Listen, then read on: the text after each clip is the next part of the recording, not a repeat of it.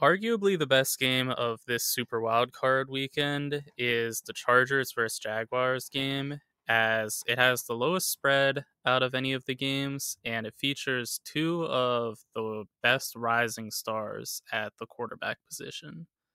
Listed below are their stats for the year, and as you could probably tell, it's very close between the two. They both are about top 10 in all of these stats. There is a slight advantage for Justin Herbert, but when I say slight, I really do mean slight. And I think it kind of undersells, though, just how good he's been on the year because it doesn't contextualize for the fact that Keenan Allen and Mike Williams missed a large chunk of the year.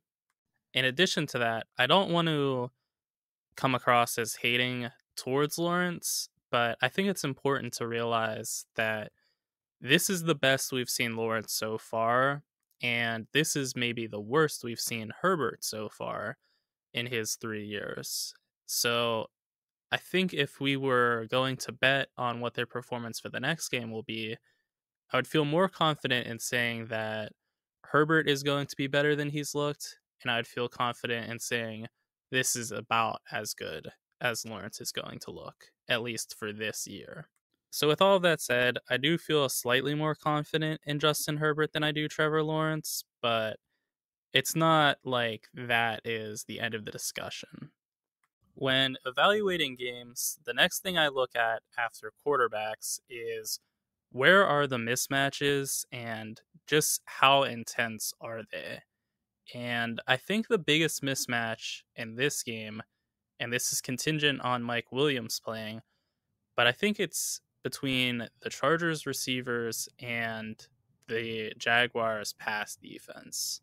Per Football Outsiders defensive value over average, the Jaguars ranked 30th in pass DVOA, being ranked 20% worse than the average coverage unit.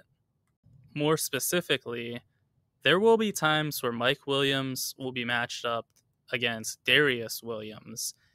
And there's quite a bit of a discrepancy in the talent of these players, as Mike Williams, the receiver, had a 79 PFF grade, which is very good, and Darious Williams had a 61, which is okay. And moreover, Mike Williams is 6'4 and Darious Williams is five foot nine. That might not be the biggest issue if the playstyles didn't also accentuate that, as Mike Williams really does love to go up and get a 50 50 ball, which I'm going to trust him to do that on a guy that is that much shorter than he is. Another possible issue for the Jaguars is that Ken Allen loves to do his work in the short to intermediate part of the field, specifically the middle portion.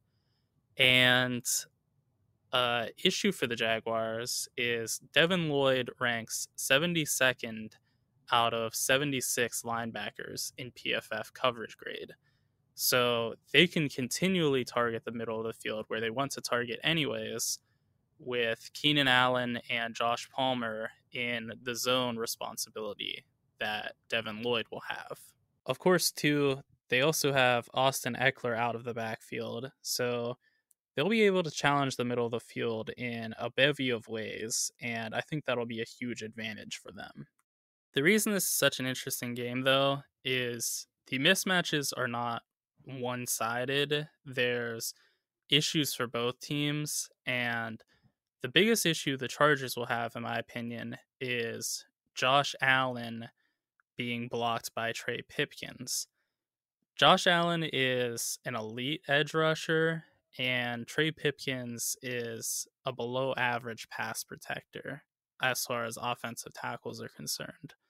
So the Chargers like to hold on to the ball a fair bit when passing, and they're really not going to have the time to do that as Josh Allen will be coming through pretty quickly. Another issue for the Chargers offensive line is that they're just not very good in general, but particularly on the interior, aside from Corey Linsley, who's an elite center, they don't really have anybody you can feel too secure with. And that bodes very poorly for them as Arden Key, who you may not have heard of much during the season, has been a special edge rusher for the Jaguars that's played a lot on the interior for them as well. They scheme their defensive linemen so nicely with stunts, and they're going to get him matched up against Zion Johnson a lot, who has struggled a bit as a pass protector. So, again, that's going to cut into the time that Justin Herbert's going to have to throw down the field. And lastly, for the Jaguars, continuing their trend of the trench dominance, they have a just complete mismatch against the Chargers' rushing attack. As Pro Football Focus ranks the Chargers as the worst run blocking unit in the NFL. And that's going to be compounded by the fact that the Jaguars, despite having a lot of speed on their defense, have the 11th best run defense according to defensive value over average. So there's just a complete mismatch on the trenches for the Chargers. The only thing that works in the favor of the Chargers for the trenches is the fact that they should also be able to get some pressure on Trevor Lawrence, as Joey Bosa still remains a premier edge rusher, and so does Khalil Mack as well and they'll be going against Walker Little and Jawaan Taylor, respectively. So they should be able to get some pressure on Lawrence, but I don't think it'll be as big of a deal as the Jaguars' pressure on Justin Herbert, as Trevor Lawrence gets rid of the ball the fifth fastest out of any quarterback in the NFL. And inversely, the Chargers are about average so in their time to throw, so they may have some issue in needing to speed up. But again, I think that having both of their receivers play, assuming Mike Williams does, that will help them get rid of the ball a bit quicker because they'll get open faster. Again, I'll have listed a quick little overview on what the advantages for the teams will be.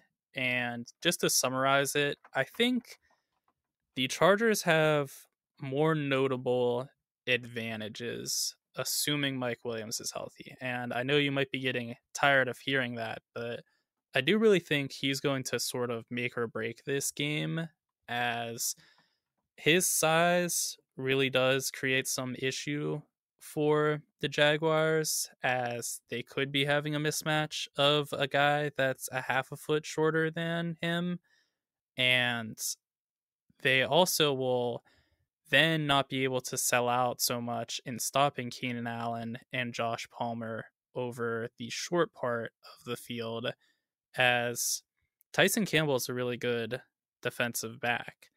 And I think he could shut down Keenan Allen if he were able to just focus on him. But considering he's six foot one, they would like to have him on Mike Williams more often just so they don't have that size discrepancy. And then at that point, Keenan Allen really will be a handful. Because I trust their quarterback more, and because I think they'll have a bit more of a headache for the Jaguars to compensate for, give me the Chargers over the Jaguars. Also, yeah, I realize they played already, and last time the Jaguars bludgeoned the Chargers, but I consider games in September to be kind of the preseason still.